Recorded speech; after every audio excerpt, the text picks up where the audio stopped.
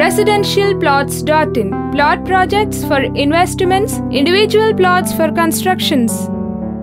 ఆంధ్రప్రదేశ్లో తెలుగుదేశం పార్టీతో తెగదెంపులు చేసుకోవాలని పార్టీ నేతలు కార్యకర్తలు డిమాండ్ చేస్తున్న మాట వాస్తవమేనన్నారు బీజేపీ జాతీయ అధ్యక్షుడు అమిత్ షా ఈ మేరకు కార్యకర్తలు నేతల నుంచి సలహాలు సూచనలు అందాయన్నారు ఢిల్లీలో మీడియాతో మాట్లాడిన అమిత్ షా విజయవాడ సభలో బీజేపీ కార్యకర్తలు ప్లకార్డులను ప్రదర్శించిన విషయాన్ని మీడియా ప్రతినిధులు ప్రస్తావించగా ఏపీలో అధికార టీడీపీ నుంచి విడిపోదామని పలువురు సలహాలు ఇచ్చారని అది వాస్తవమేనన్నారు.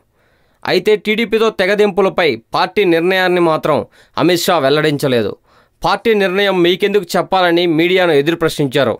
తెలంగాణకు కేంద్రం చేసిన సాయంలో ఏది నిజం కాదో చెప్పాలని కేసీఆర్కు అమిత్ షా సవాల్ చేశారు. తాను చెప్పింది తప్పు అని నిరూపిస్తే దానిపై స్పందించేందుకు తాను సిద్ధంగా ఉన్నానన్నారు. ఈ వీడియో మీకు నచ్చినట్లయితే లైక్ చేయండి షేర్ చేయండి. మరిన్ని అప్డేట్స్ కోసం మా జనహితం టీవీని సబ్స్క్రైబ్ చేయడం మాత్రం మర్చిపోకండి.